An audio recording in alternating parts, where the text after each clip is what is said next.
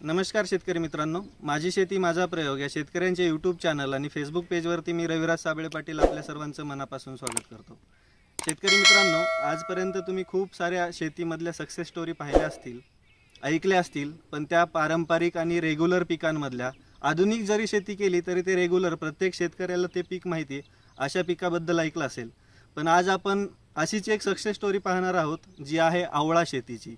हो शेतकरी मित्रांनो मागचे वीस वर्ष झालं करमाळा तालुक्यातील बाळासाहेब काळे सर हे यशस्वीरित्या आवळ्याची शेती करतायत. आणि ती आवळ्याची शेती नेमकी कशी केली जाते त्याच्यातून किती फायदा होतो किती तोटा होतो काय गोष्टी करायला पाहिजेत काय नाही करायला पाहिजेत हे सगळं आपण त्यांच्याकडून जाणून घेणार आहोत.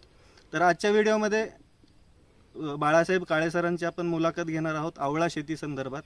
तर व्हिडिओ शेवटपर्यंत बघा. व्हिडिओ आवडला तर व्हिडिओला लाईक करा शेअर करा आणि माझी शेती माझा प्रयोग या शेतकऱ्यांच्या यूट्यूब चॅनलला सबस्क्राईब करायला विसरू नका. नमस्कार सर नमस्ते. तर हे आहेत बाळासाहेब काळे सर यांचं शेत हे करमाळा तालुक्यामध्ये कोणतं गाव सर कामणे कामोने गाव आहे. सोलापूर जिल्हा येतो. अत्यंत दुष्काळी परिस्थिती आणि दुष्काळी जिल्हा सोलापूर जिल्हा प्रत्येकालाच माहिती आहे. पाऊस काळ कमी असतो. आणि अशा पाऊस कमी असणाऱ्या भागामध्ये पण मागचे वीस वर्ष झालं एक दोन वर्ष ठीक आहे मागचे वीस वर्ष झालं ते यशस्वीरित्या आवळ्याची शेती करतायत. तर त्यांचा आपण जा अनुभव जाणून घेणार आहोत. सर आपल्या या श- तुमचं एक तर आपल्या माझी शेती माझा प्रयोग या युट्यूब चॅनलवरती स्वागत आहे. शेतकरी मित्रांना सांगा की याची सुरुवात कशी झाली आणि ही आयडिया तुमच्या मनामध्ये कशी आली की आपण आवळ्याची शेती यशस्वीरित्या करू शकतो? कारण सामान्यतः आधुनिक शेतीचा जरी प्रयोग आला भारतामध्ये तरी पण आवळा शेती म्हणजे खूप रिअर गोष्ट आहे ज्याचं कन्झम्पशन खूप कमी आहे. तरी पण तो धाडसी निर्णय तुम्ही कसा घेतला? दोन हजार तीन ला हं.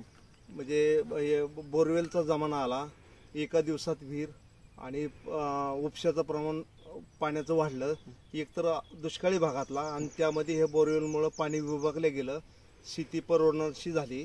त्यामुळं मग थोडंसं डिप्रेशनमध्ये गेलो म्हणायचं आणि तीन महिने अभ्यास करत बसलो. माझं शिक्षण बारावी सायन्स असल्यामुळं आणि मी बळीराजा बळीराजा अंकाचा वाचक असल्यामुळं माझ्याकडे जी पुस्तकं होती सिलेक्टेड मी अंक काढले बागेचे आणि त्यामध्ये असा अभ्यास चालू केला की बाबा कमी पाण्यामध्ये उसा इतकं उत्पादन आपल्याला कोणतं फळपकी देऊ शकतं? आणि त्यामध्ये असं लक्षात आलं की एज्युकेशन तर वाढतंय. आणि सर्वसामान्य जनता सुशिक्षित झालेली ॲलोपॅथीला सगळे कंटाळलेले आहेत. आणि मग हे जे आयुर्वेदिक फळ आहे आवळा तर भविष्यामध्ये ह्याला जगाची बाजारपेठ उपलब्ध होणार आहे. असं मनात आल्यानंतर मग दोन हजार तीनला मी आवळीची लागवड केली आठ एकराची. आणि ते कोरोनाच्या काळामध्ये खरं ठरलं. कारण कोरोनाच्या काळामध्ये व्हिटॅमिन सीचं आवळ्यामध्ये जास्त प्रमाण असल्यामुळं शरीराची रोगप्रतिकारक क्षमता जर वाढवायची असेल तर आवळ्याचं सेवन करणं गरजेचं आहे. आणि आवळ्याचं मार्केट पंचवीस रुपयावरनं डायरेक्ट पन्नास ते साठ रुपयावर लॉन्च झालं. ओके. आता मला सांगा तुम्ही लागवड करत असताना कोणत्या प्रकारची जमीन निवडली? लागवड करताना तुम्हाला काय अडचणी आल्या आणि लागवड करत असताना किती बाय कितीवरती तुम्ही आवळ्याची लागवड केली? आता ज्यावेळेस लागवड केली त्यावेळेस तर आमच्या तालुक्यामध्ये कुणाचीच आवळीची शेती नव्हती. मग विद्यापीठाशी संपर्क करून विद्यापीठाने जे रिकमेंडेशन अंतर केलं चोवीस बाय चोवीस फुटाचं त्या अंतरावरती मोस्ट प्रमाणात एन शेवणची लागवड केली.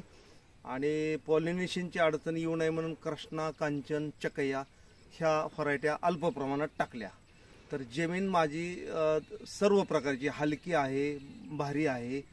तर जमिनीचं म्हणजे हलक्या जमिनीमध्ये झाडाची वाढ मर्यादित होती. आणि फांद्या तुटणं मोडणं हा प्रकार बांधणं त्यामध्ये कमी संभवतो. पण भारी जमिनीत झाड मोठं होतं उत्पन्न ज्यादा निघतं क्वालिटी निघतं पण झाडाची बांधणी ही अशी करावं लागते. आणि हे खूप किचकट प्रोसिजर आहे किचकट प्रोसिजर आहे. एवढं करून बी फांद्या तुटतात. ओके. आता मला सांगा लागवड करत असताना तुम्हाला कोणत्या कृषी विद्यापीठाचं मार्गदर्शन लाभलं आणि जात निवडताना नेमकं तुम्ही स्वतःच जात निवडली की कोणा मार्गदर्शकाकडून कडून माहिती घेतली होती? आता लागवड करताना विद्यापीठाचं सहकार्य घेतलं आणि जात निवडताना पुणे मार्केटचा अभ्यास केला आणि व्यापाऱ्यांचं म्हणणं जाणून घेतलं. कारण शेतकरी तर आम्हाला भेटणंच कारण बागच कोणाकडे नाही ना. तर एन शेवनची मागणी प्रचंड आहे हे लक्षात आल्यावर मग एन शेवनच लावलं मी. तुम्ही लागवड केल्यानंतर पाण्याची सोय काय होती? आणि झाडांना ड्रीप केलं होतं की सुरुवातीला पाटपाण्यावर वगैरे- वगैरे तुम्ही रोपं जगवली? सुरुवातीला अ, म्हणजे आमची कंडिशनच खूप खराब झालेली होती. आणि दोन हजार पंधरापर्यंत पाटपाण्यावर ठेवलं. विहीर अगदी पूर्वी ज्या खोलीची विहीर होती त्या खोलीची. आणि त्या काळामध्ये तीन वर्षातून दोन दुष्काळ ठरलेले असायचे. एकदा पाऊस पाणी चांगलं पडायचं त्याच वर्षी उत्पादन मिळायचं. परत दोन वर्ष आम्ही मात्र एक दुष्काळ जरी पडला उत्पन्न बागेतनं नाही मिळालं पण झाड काय वाया जात नाही एवढं म्हणजे दमदार झाड आहे आवळ्याचं म्हणजे पाणी उन्हाळ्यामध्ये पाणी जरी नसेल तरी झाड जळ जळत नाही किंवा हो, हो. अडचण येत नाही अडचण येत नाही उत्पन्न कमी होईल हो, पण हो. झाड जळत हो. नाही हे तुमचं म्हणणं. हो आणि जर क्वालिटीची जर साईज काढायची म्हटलं आणि टनेज जर जादा काढायचं म्हटलं तर आवळ्याला पाणीच लागते आणि क्वालिटीच्या मालालाच मार्केटमध्ये किंमत आहे आता तुम्ही लागवड केल्यानंतर हे फळ येण्यासाठी किती वर्षाचा कालावधी लागतो? आणि तोपर्यंत तुम्ही झाडाची जोपासना कशी केली? म्हणजे सुरुवातीला जर एखाद्या शेतकऱ्याने आवळा लागवडीचा पर्याय निवडला तर त्यांनी नेमकं सुरुवात कुठून करायला पाहिजे फळ येईपर्यंत? तर मी जी लागवड केली आठ एकरामध्ये त्या आठ एकरावरच आमच्या कुटुंबाचा ज- चरितार्थ चालायचा. अशा मोक्याच्या जमिनीमध्ये बाग केली. त्यामुळं मी पाच वर्ष आंतरपिकं घेत गेलो. आणि तसं जर म्हटलं तर तिसऱ्या वर्षी सुद्धा बागेला ताण दिला तर फळं घेता येतात. मात्र ते उत्पादन कमी मिळन ही भीती होती आणि आपण वर्ष जगायचं कसं? हा प्रश्न निर्माण असल्यामुळं मी हरभऱ्याचं कांद्याचं उत्पादन घेतलं आणि घराचा अं, चरितार्थ चालवला. ओके. लागवड केल्यानंतर साधारणतः पाच वर्षामध्ये पहिली हार्वेस्टिंग येते. हार्वेस्टिंग करत असताना सुरुवातीला म्हणजे पहिल्या पाच वर्षामध्ये झाडाला किती प्रमाणामध्ये रासायनिक आणि शेणखताची गरज असते? सुरुवातीला मी रासायनिक खत दिलंच नाही. पहिले पूर्ण- पाच वर्ष. हा पूर्ण सेंद्रिय. आणि पंधरा साली मी ड्रिप केलं. ड्रिप केल्यानंतर लिक्विड खतं देऊ लागलो. आणि लिक्विड खतं दिल्यामुळं मालाची साईज गुणवत्ता चमक ही प्रचंड मा- मिळू लागली. तुमचं लागवड केल्यानंतर पाच वर्षानंतर पहिल्या पा- पहिल्या पाच वर्षामध्ये पहिल्या हार्वेस्टिंग मधून तुमचं उत्पन्न किती होतं? पहिल्या पाच वर्षामध्ये म्हणजे लागवड केल्यापासून पहिली हार्वेस्टिंग यायला पाच वर्ष लागली? नाही तीन वर्षात हार्वेस्टिंग करता येते पण मी केली नाही. मी पाचव्या वर्षी झाडं वाढू दिली मी आंतरपिकं घेत गेलो. मग पहिल्या त्या त्या पहिल्या हार्वेस्टिंगमध्ये तुमचं टनेज किती निघालं? आणि त्या वर्षी दर काय राहिला? आता पहिले सुरुवातीला दर कमीच होते. दर साधारणतः दहा पासून वीस रुपयापर्यंत आम्हाला दर मिळायचे. आता टनेज माझ्या लक्षात नाही परंतु सहा सात लाख रुपये मला मिळाले. हे आवळ्याची लागवड करत असताना तुम्ही मार्केटचा नेमका काय अभ्यास केला? म्हणजे नेमकं कुठे त्याची डिमांड आहे? कोणत्या मार्केटला तुम्ही भेटी दिल्या? किंवा कुठे व्यापाऱ्यासोबत टायअप केलं होतं का? आता मार्केटचं जर म्हटलं तर आम्हाला पुण्यापासून मी जवळ असल्यामुळं आम्हाला पुणे परवडतं. मुंबई बी चालते तसं आम्ही बेंगलोरला बी माल पाठवला. बेळगावला बी पाठवला. पण सुटेबल आम्हाला पुणे वाटतं. आणि पुण्यामध्ये जे म्हणजे ग्राहक आहे पुणे सिटीचं त्यांना टॉपचा माल लागतो. आणि तो किती प्रमाणात सेल होतो पुण्यामध्ये त्या पटीत आम्ही डिसेंबरपर्यंत स्टेप बाय स्टेप आम्ही मार्केटिंग करतो. तर आता गेल्या वर्षी एकवीसचा सीझन माझा हा उच्चांकी ठरलेला आहे. कारण मा महाराष्ट्रामध्ये स्टार टू एंड जास्त बाजारभाव घेणारा मी शेतकरी ठरलेलो आहे. मला सांगा मागच्या तीन वर्षामध्ये तुमचा उत्पन्नाचा आलेख कसा राहिला? आता हे दोन हजार बावीस चालू आहे. दोन हजार एकोणीसमध्ये तुम्हाला किती टनेज मिळालं आणि त्याच्यापासून किती उत्पन्न भेटलं नेमकं साधारणतः अंदाजे? अठराला दुष्काळ होता. एकोणीसला पाऊस पडला तर अठराच्या दुष्काळामुळे बहार बाहेर पडला नाही. बहार ह्याचा पंधरा फेब्रुवारी ते मार्च एंड या कालावधीत बहार बाहेर पडतो. आणि येणाऱ्या पाऊस काळात पाऊस पडल्यानंतर एक जुलैला फळात रूपांतर होतं.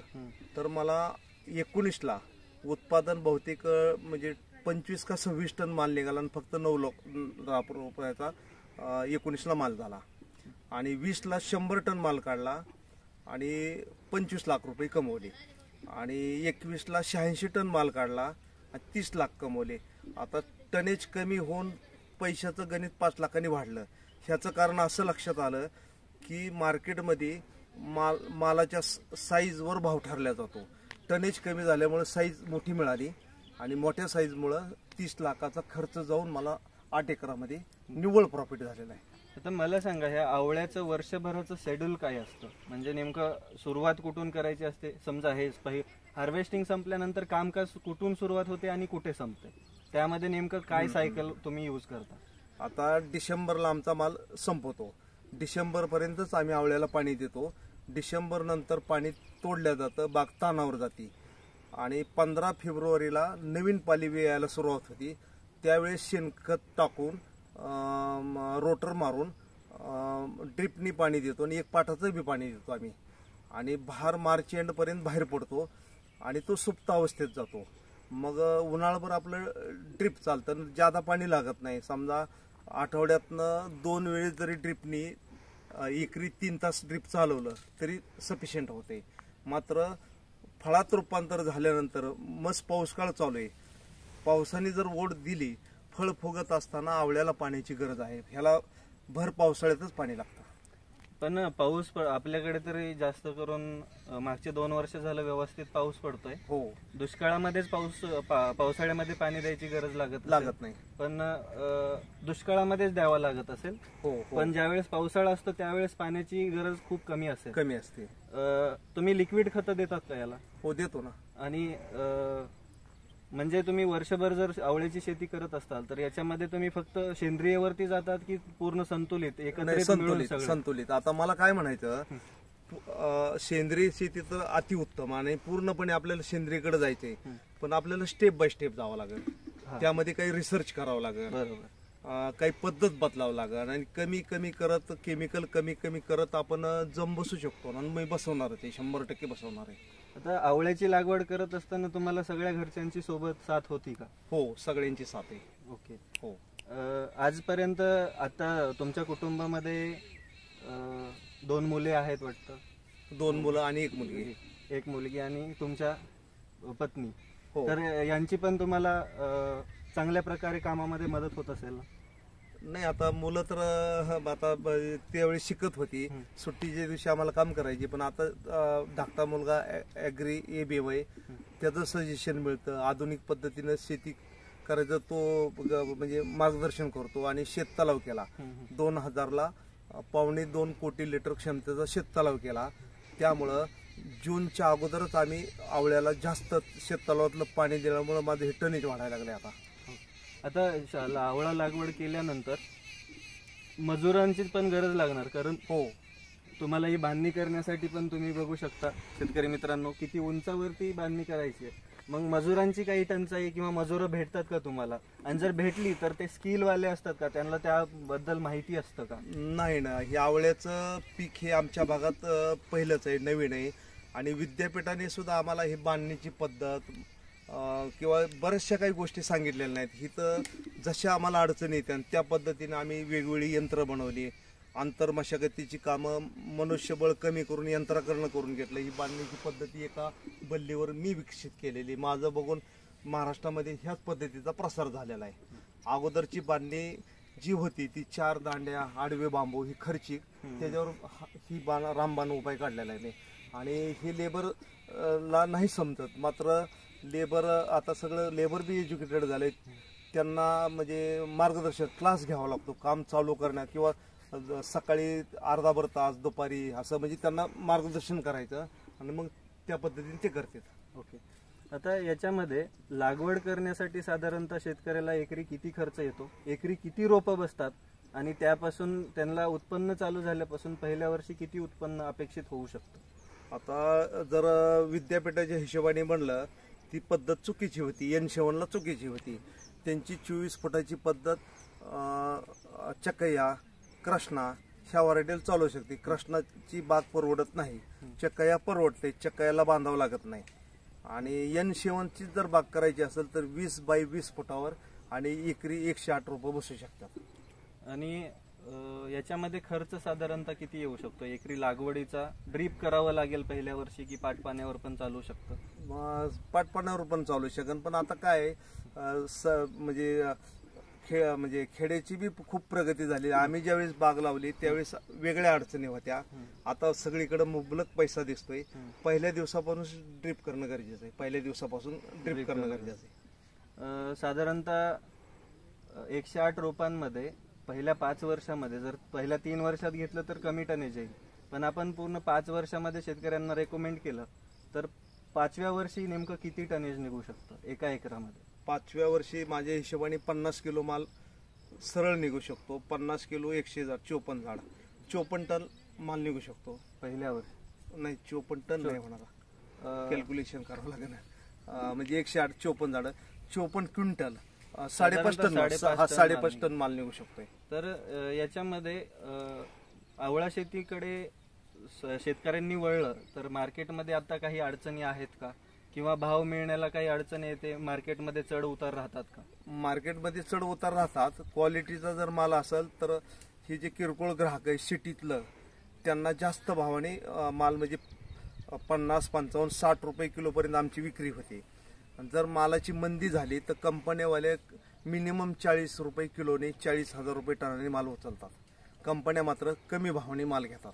आता याच्यामध्ये विक्री करत असताना तुम्हाला जागेवरती विक्री होते की मार्केटलाच पाठवावं लागतं? जागेवरती बेंगलोरचे व्यापारी येऊन इथनं घेऊन जातात माल. किंवा औरंगाबाद साईडकडले बी लोक येऊन माल घेऊन जातात. परत आम्ही स्वतः पाठवतो. म्हणजे कसं बी शेतावर येऊन वि- विक्री म्हणजे चालू ज्या राहते. परिस्थितीनुसार हो, हो. सिच्युएशन तयार होईल त्यानुसार तुम्ही हो अ, हो. ते ऍक्शन घेता. हो हो. तर आता नवीन शे- ला- आवळा लागवडीकडे शेतकऱ्यांनी वळलं पाहिजे की नाही? म्हणजे भविष्याची जर गरज पाहता तुम्ही वीस वर्षाचा अनुभव तुम्हाला या आवळा शेतीमध्ये आहे. तर तुम्हाला याच्यामध्ये शेतकऱ्यांना सांगायचं झालं नवीन लागवड केली तर चालेल का? बिंदास्त बिंदास्त कारण आपल्याला जर सदृढ भा- भारत घडवायचा असेल य- यंग पिढी जर म्हणजे निरोगी बनवायची असेल तर लागवड वाढवायला पाहिजे आणि एज्युकेटेड एज्युकेशन वाढलेलं आहे. आणि डॉक्टर लोक बी रिकमेंडेशन करतात की बाबा रोग प्रतिकार शक्ती आवळ्याच्या सेवनानं वाढते. की कोरोना सा- महामारी सारख्यावर बी त्याच्यावर विजय मिळवता येतोय. तर प्रचंड मागणी वाढणार आहे. आणि लागवडी वाढवायला काहीच अडचण नाही. आता माझं तर तुम्हाला बजेट सांगितलं मी शहाऐंशी टनाचं निव्वळ तीस लाख रुपये नफा कमावलेला आहे. एका वर्षामध्ये? एका वर्षामध्ये. आता हे मागच्या दोन हजार तीन ला लागवड केली तर दोन हजार आठपासून आजपर्यंत तुम्हाला उत्पन्नामध्ये कमी जास्त का होईना पण फायदा झालेला आहे फायदा? झालेला आहे फायदा झालेला म्हणजे उत्पन्न वाढतच गेलेलं आहे कमी झालेलं. नाहीये. कारण कसं आहे की दुष्काळावर मात करण्यासाठी विहिरीची खोली एकशे पाच फुटाची केली शेततलाव केला. ह्यामुळं शेततलाव झाल्यापासून उत्पन्नात सातत्य आलेलं आहे. दोन हजारचं उत्पादन दोन हजार एकवीसचं उत्पादन आणि आता दोन हजार बावीसचं उत्पादन. म्हणजे थोडं थोडं वाढतच चाललंय पण कमी नाही. सातत्याने थोडं थोडं वाढतच आहे. चाललंय आता. तुम्ही मुळातच सोलापूर जिल्हा हा दुष्काळी म्हणूनच ओळखला जातो. हो. शक्यतो बाजरीचं बाजरी किंवा ज्वारीचं ज्वारी, पीक. जास्त केलं जातं. सोलापूरला ज्वारीचं कोठार म्हणलं जातं. पण अडचणींवर मात करून दुष्काळावर मात करून एवढी मोठी बाग उभा करणं पण सोपं नाही. तर सर मला सांगा तुम्ही दुष्काळावर मात करण्यासाठी पाण्याची सोय म्हणून काय केलं नेमकं? काय उपाययोजना केला दुष्काळ निवारण्यासाठी? आता सतरा साली पाऊस चांगला पडला आणि मला बऱ्यापैकी साठ टन उत्पादन मिळालं. त्यावेळची काहीतरी आकडेवारी चौदा का पंधरा लाख रुपये नफ्याची झाली माझी. सतराला पाऊस पडला अठराला दुष्काळ पडला. तर मग म्हटलं आता दुष्काळा दुष्काळाला एक संधी समजायचं. आणि सम संधी समजून काम करायचं. आणि संधीचं सोन्यात रूपांतर करायचं. तर माझ्याकडे फोर्स कंपनीचा छोटा ट्रॅक्टर आहे. मी टँकर घेतला. आणि दिवस रात्र टँकरकडनं पाणी वाहून माझ्याकडे एक हेक्टर बी लिंबूची बाग होती. तर एकोणीसला मला एक हेक्टर लिंबूच्या बागेतून निव्वळ नफा ट्रॅक्टरचं डिझेल पाण्याचा खर्च जाऊन मला नऊ लाख रुपये मिळाले. दोन हजार सतरा साली. नऊ लाख नाही नाही दोन हजार एकोणीसला. एकोणीस. एकोणीस. अठराचा दुष्काळ होता. एकोणीसला बी दुष्काळच होता आमच्याकडं. आणि आवळ्याला बी थोडं पाणी टाकून आवळ्याचं बी नऊ लाखाचं मी उत्पादन घेतलं. आता तुम्ही आणि शेततलाव त्यानंतर मग त्या पैशाचा यूज मी शेततलावात केला. त्या म्हणजे अठरा एकोणीस दुष्काळामध्ये जे मी पैसे कमवले ती वीसमध्ये मी शेततलाव पूर्ण केला. तेरा चौदा लाखाचा शेततलाव आहे माझा. आता शेततलावामध्ये पाणी नेमकं किती साचवलं जातं? पाणी त्यामध्ये चार हजार चारशे स्क्वेअर मीटर कागद बसला तर इंजिनियरच्या म्हणण्यानुसार दोन कोटीला थोडंफार कमी पडतंय. तर मी सरळ त्याला म्हणतो की पावणे दोन कोटी लिटरचा तो शेततलाव आहे. आता त्या शेत तलावामधून तुम्हाला या आठ एकर आवळ्याचं आणि तुमच्या इतर शेतीचं भागतं. हो पूर्ण. पाणी शिल्लक राहते माझं. एवढं पाणी लागत नाही मला. याच्यामध्ये तुम्ही यशस्वी आवळा शेती तर केली पण ही आवळा शेती करत असताना तुम्हाला शासनाची काही मदत अ, मिळाली का? विद्यापीठाने मदत केली का? आणि जर केली तर कोणत्या विद्यापीठाने तुम्हाला योग्य मार्गदर्शन केलं? फळबाग लागवड योजनेअंतर्गत ह्या वेळेची लागवड केली. त्यामुळे कृषी विभागाकडनं सगळं रोपं मिळाली आम्हाला. त्याचं अनुदान मिळालं. विद्यापीठाने मार्गदर्शन केलं. वेळोवेळी तालुका कृषी अधिकारी आणि त्यात मोलाचं सहकारी आता ते रिटायर झाले शिवराज ताटे. अच्छा. हो शिवराज. हा तालुका कृषी अधिकारी होते. त्यांनी जास्त मार्गदर्शन करून मला ह्या स्टेप आणले आतापर्यंत त्यांनी. तर मला सांगा याच्यामध्ये तुम्हाला आतापर्यंत शासनाकडून म्हणा किंवा विद्यापीठाकडून म्हणा किंवा आपल्या महाराष्ट्र शासनाच्या कृषी विद्यापीठाकडून कोणता पुरस्कार किंवा काही प्रशस्तीपत्र वगैरे मिळालं आहे? पुरस्कार जर म्हटलं तर तालुका कृषी अधिकारी संजय वाकडे साहेब सध्याचे आणि उपविभागीय कृषी अधिकारी कांबळे साहेब. हे दोन वर्ष झालं सतत बागेत येतात आणि त्यांनी रिकमेंड केलं की बाबा तुमचा उद्यान पंडित पुरस्कारासाठी फॉर्म भरून घेणार आम्ही. आणि मग स्वातंत्र्याचा अमृत महोत्सवानिमित्त पंचायत समिती करमाळा इथं कृषी विभागाचा कार्यक्रम झाला. त्यामध्ये तालुक्यातील अकरा शेतकरी की जे जे की वेगवेगळ्या क्षेत्रामध्ये चांगलं उल्लेखनीय कार्य केलेल्या अकरा लोकांना पुरस्कार दिला. त्यामध्ये मला तो मिळालेला आहे. स्वातंत्र्य प्रशस्तीपत्र दिलं दिलेलं आहे. स्वातंत्र्याच्या अमृत आणि. आणि उद्यान विद्या पंडितचा माझा फॉर्म भरून घेतलेला आहे दोन हजार बावीससाठी तुमचा मी पीडीएफ बनवलेली ती पण पाहिली. त्याच्यामध्ये तुमचं उल्लेखनीय कार्य बघितलेलं आहे आणि मी डोळ्याने पण पाहिले त्यामुळे तुम्हाला तो पुरस्कार राह- मिळाल्याशिवाय राहणार नाही. माझ्या त्यासाठी तुम्हाला शुभेच्छा तर आहेत. पण मला एक सांगा ही आवळा शेती करत असताना आव्हानं कोणती होती? आव्हानं म्हणजे आवळ्याचं आता एन शेवनजी व्हरायटी ही नरेंद्र देव कृषी विद्यापीठ उत्तर प्रदेश. तिथं विकसित झालेली ही व्हरायटी आणि आपल्या महाराष्ट्रामध्ये आवळ्यावर रिसर्च जास्त होत नाही. मग विद्यापीठाला जेवढी जेवढी काही त्रोटक माहिती तेवढी त्यांनी दिली. मात्र ही झाडं मोडतात अशी फांद्या फळं लागून. तर हे वाचवण्यासाठी ही आम्हाला विकसित करावं लागलं. त्यामध्ये सुरुवातीला खूप आमचं नुकसान झालं फांद्या तुटायच्या. मग असे ब- समस्या निर्माण झाल्या ना सुरुवातीला नॉलेज नसल्यामुळं. आता तुम्ही याच्यामध्ये आवळा शेती करत असताना तुम्ही स्वतःच शिकतात आणि स्वतःच प्रयोग करतात असं मला समजलं. त्याबद्दल काय सांगाल? हो मी पहाटे पाचला उठतो आणि यूट्यूबवरती चांगले चांगले जे चॅनल आहेत तुमचा पण आहे माझी शेती माझा प्रयोग. हे सगळं मी चार पाच लोकांचं मी स्टडी करतो आणि ज- उद्यान विद्या पंडित पुरस्कार कृषी खातं जर मला देते तर एम एस ॲग्रीवाला जरी इथं माणूस आला आणि त्याने आवळ्यात लिंबात मला काही विचारू द्या मला जर ते सांगता आलं तर तो खरा योग्य पुरस्कार आहे. मी ते पुरस्काराच्या लायक आहे. हे वशिल्यावरचा पुरस्कार कोणी म्हणता कामा नाही मग पुरस्कार मिळेल अथवा न मिळेल पण माझा अभ्यास वाढला. माझी प्रगती वाढली आता. पुरस्कार भेटणार म्हणून अभ्यास वाढलाय माझा आता. तुमची आवळा शेती बघितल्यानंतर तर मी खरंच इन्स्पायर्ड झालोय. तुम्ही आवळा म्हणजे पूर्ण महाराष्ट्रातील शेतकऱ्यांना जे पारंपरिक शेती करताय त्यांच्यासाठी हे पीक रेकमेंड करता का? हो जरूर. अगदी जरूर. अत्यंत कमी पाण्यामध्ये येणारं आवळा फळपीक आहे. मी म्हणतो शेतकऱ्याकडे शेततलाव नाही पाण्याची सोय नाही दुष्काळ पडला. त्या वर्षी बाग तुमची जिवंतच आहे. उत्पादन थोडंफार मिळतंच. असं झिरो उत्पादन होतं अशातला भाग नाही. ज्वारी बाजरीसारखं तुम्हाला त्या वर्षी उत्पादन भेटलं. आणि हळूहळू मग आवळ्यापासून अर्थार्जन झालं की शेततलावा. आता मी तर म्हणेल की त्या मनी बँकेच्या ऐवजी वॉटर बँकेची शेतकऱ्याला गरज आहे. म्हणजे वॉटर त्यामध्ये बँक शासनाने महत्वाची. शासनाने लक्ष घातलं पाहिजे. नाही घातलंय ना लक्ष त्यांनी. ते अनुदान देतात ना शासन ते. आणि प्रत्येक शेतकऱ्याकडे दुष्काळी टापूतल्या प्रत्येक शेतकऱ्याकडे वॉटर बँक पाहिजे. आणि ऑर्गॅनिक चा वापर जास्त अ, म्हणजे करायलाच पाहिजे. केमिकल हळूहळू आपल्याला कमी करायचे हळूहळू कमी करायचे आपल्याला. तर शेतकरी मित्रांनो हे होते आव यशस्वी आवळा शेतकरी अ, बाळासाहेब काळे सर. यांचं शेत अ, करमाळा तालुक्यामध्ये आहे. जे की सोलापूर जिल्ह्यामध्ये येतं. तुम्ही आवळा शेती पाहिली पाहू शकता काय क्वालिटीचा माल आहे आणि किती टनेज आहे. यावर्षी सा- अंदाजे साधारणतः काळेसरांना ए- शंभर टनाचा माल निघणार आहे आठ एकरामधून. शंभर टन माल जर त्यांनी पन्नास रुपये आजचा दर मार्केटला होलसेलचा दर आहे पन्नास रुपये ते पंचावन्न रुपये. पन्नास रुपयाची सरासरी जरी पकडली तरी पन्नास लाखाचं उत्पन्न काळे सरांना अपेक्षित आहे. अत्यंत प्रतिकूल परिस्थितीमध्ये मागचे वीस वर्ष झालं एकाच पिकामध्ये काम करून यश मिळवणं ते वाटतं तेवढं सोपं नसतं. त्याच्यामागे खूप मोठा संघर्ष असतो. आणि तो काळे सरांनी केलाय आणि तो संघर्ष त्यांनी आज प्रत्यक्षात यशामध्ये उतरवलाय. तर काळे सरांकडून आपण पूर्ण माहिती जाणून घेतलेलीच आहे. तुम्हाला जर भेट द्यायची असेल तर त्यांच्या फार्मचा पत्ता आहे. सर भेट द्यायची असेल तर तुम्हाला कुठे यावं लागेल? करमाळा नगर रोडवरती. करमाळ्याच्या म्हणजे उत्तरेला मांगी नंतर कामोनी फाटा येतो. कामोने साधारण फाट्यावर- करमाळ्यापासून अकरा किलोमीटर आहे. अकरा किलोमीटर. अ, सरांचं गाव हे करमाळा तालुक्यातील कामोने आहे. तर अत्यंत सुंदर असा त्यांचा हा प्लॉट आहे. अ, त्यांना उद्या अ, महाराष्ट्र शासनाकडून उद्यान विद्या पंडित पुरस्कारासाठी त्यांचं नॉमिनेशन पण झालेलं आहे.